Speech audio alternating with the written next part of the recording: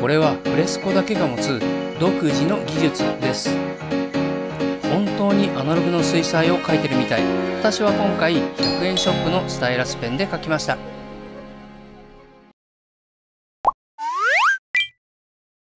皆さんどうもこんにちは、たいのすけです。今回はスマホで水彩画を描いてみました。スマホで水彩画を描くってどういうこと？と思われる方もいるかもしれませんね。Adobe フレスコがあればこんな水彩画を描けるんです。Adobe って聞いたことあるけど、プロっぽくてハードル高そうという方、安心してください。とっても簡単に使えますよ。そしてフレスコは無料です。今回はまずスマホ版のフレスコの使い方を簡単に紹介。その後実際にこの絵を描くところを解説します。絵を描くシーンだけを見たい方はチャプターで飛んでくださいね。それではスタート。まずは使用する道具の説明。フレスコは iPhone でのみ使用できます。絵は指でも描けますが、市販のスタイラスペンを使うとより一層描きやすいと思います。私は今回100円ショップのスタイラスペンで描きました。フレスコはアプリストアでフレスコと入れると見つかります。ダウンロードして最初に開くと ID を求められます。お好きな ID でログインしてください。フレスコが開くとこのような画面になります。まずはここにあるドキュメントを開きます。ドキュメントとはつまり用紙ですね。とりあえず現在の画面サイズをタップ。ここにいろいろなツールがあります。ここはレイヤー。下にはレイヤーを操作するツールがあります。2本の指で拡大、縮小、回転ができます。ブラシはここ。たくさんありますが、とりあえず鉛筆を選びます。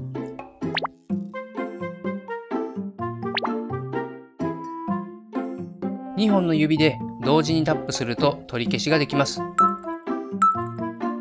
ここにも取り消しボタンはあります。ブラシの調整をするときは、ここをタップ。色やサイズ、濃さを調整できます。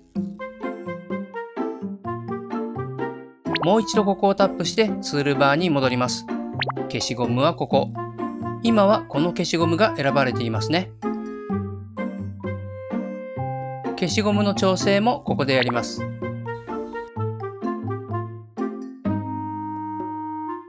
次にレイヤー。この部分を押すと新しいレイヤーが出てきます。レイヤーを移動したいときは、そのレイヤーを長押し、そして掴んだまま移動させます。このように前後に自由に移動することができます。レイヤーの表示、非表示はここ。ここで不透明度を調整できます。その他のブラシや機能は絵を描きながら紹介します。まずは大雑把に絵の構成を描きます。ブラシはマーカー。色をここで選びます。ペン先の太さと濃さを調整して、ざっくりと葉っぱの大きさを描いていきます。ここで一つ注意点。絵を描いている間は、描いている指先もしくはペン先だけが画面に当たるようにします。ペンを持って描くときの癖で、手を画面に乗せて描こうとするとうまく描けません。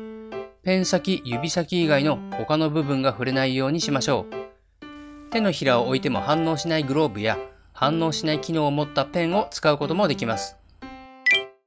だいたい描けたので画面のレイアウトを調整します。ツールバーのここに拡大、縮小、回転ツールがあります。調整が終わったら完了を押します。この上に下書きを書いていきます。まずはレイヤーの不透明度を下げて、その上に新しいレイヤーを作ります。別の色を選んで、ブラシのペン先の太さと色の濃さを調整、拡大して書いていきます。書いてる最中にある機能が邪魔をするので設定を調整しました。フレスコでは画面上に塗ってある色を指やペンで長押しするとその色をスポイトします。この機能が不意に働いてしまって色が時々勝手に変わったんですね。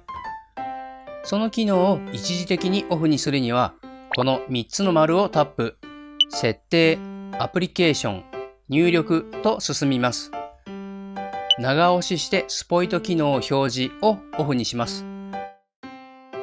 下書きの後半になるとスタイラスペンの使い方に慣れてきました。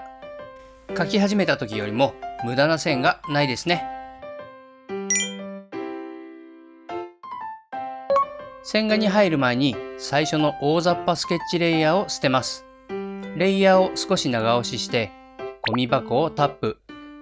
下書きレイヤーの不透明度を下げて上に新しいレイヤーを作ります。ブラシはペンを選びます。サイズは6。滑らかさを調整します。滑らかさというのは手ぶれ防止みたいな感じでしょうか。滑らかさが強いと歪まずに線を引くことができます。でも滑らかさが強すぎると反応は鈍くなるし、鋭いエッジも描けなくなります。私は今回少し強めの70くらいにしました。今回の線画のポイントは必ず線をつなげて描くこと。線が途中で切れているとこの後の作業に影響が出てしまいます。線がクロスしている部分も消しゴムでなるべくきれいにしておきます。また葉っぱは1枚ごとにレイヤー分けしておきます。この時点では葉っぱの筋、葉脈も書いていました。でも後で不要ということが分かり、着彩をする前に消しました。では線画ができるまでしばしご覧ください。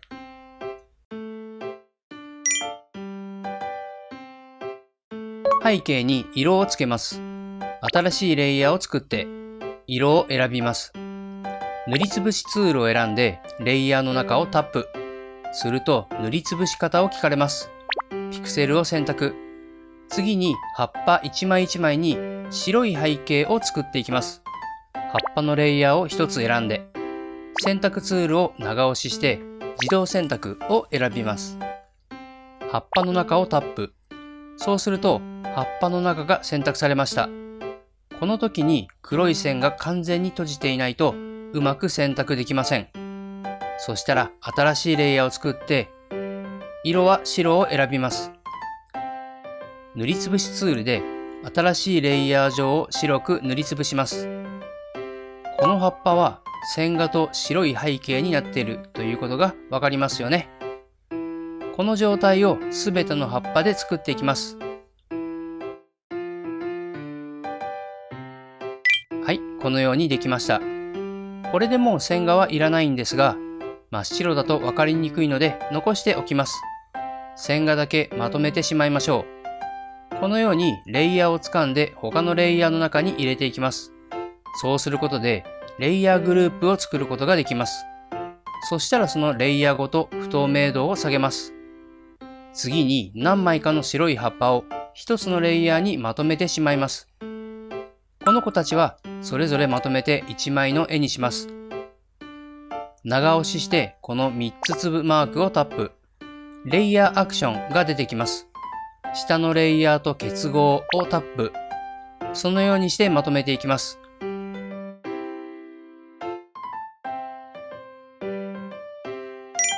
これで下準備が完了しました。では、いよいよ水彩で塗っていきます。ブラシはライブブラシから水彩、水彩ラウンド細筆を選びます。塗りたい葉っぱのレイヤーの上に新しいレイヤーを作ります。そのレイヤーをクリッピング。これで白い範囲から色がはみ出さない。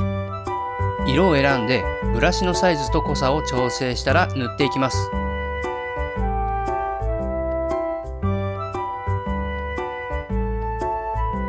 こんな感じで色が滲んで混じり合っていきます。これ本当にすごいよな。これはフレスコだけが持つ独自の技術です。本当にアナログの水彩を描いてるみたい。どんどん塗っていきます。もう楽しくて仕方がない。